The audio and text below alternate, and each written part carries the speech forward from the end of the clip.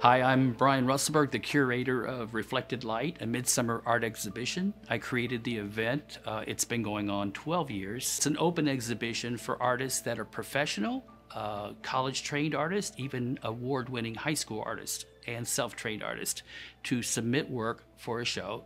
Uh, and there won't be any fees to enter the show, and if uh, we sell the work, there's no cut for the gallery. It's uh, totally geared for the artist and the general public.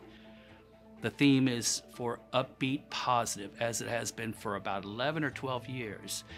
We have so much negative stuff on the news and things going on uh, that we decided we wanted to change the world with people having fun and laughter. And so the themes are anything upbeat and, and fun topics.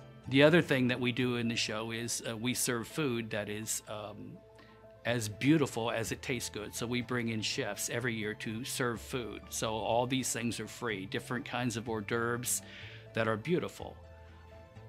So we don't really have a, uh, specific uh, type of art. We take everything from cubism, realism, impressionism. We take all kinds of art. Um, I really like the creativity of the artist, and we've always liked to push the envelope in reflected light, things that are unusual but good. Um, a lot of times people break the rules of art, um, but if it's beautiful, it, it, um, it doesn't matter. I will show it.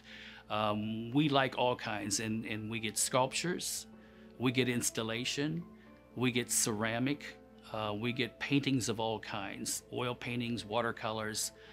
Um, we get a, a crazy variety. This is a fun free event. People look forward to it every year. So it's July 15th. It's at Bread of Life, 7510 East, County Line Road 100 North in Avon.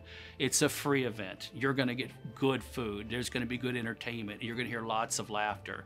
But the art is top notch. It, again, it cuts, uh, it pushes the envelope on beauty. So we encourage you to come because I think you're going to really have a good time.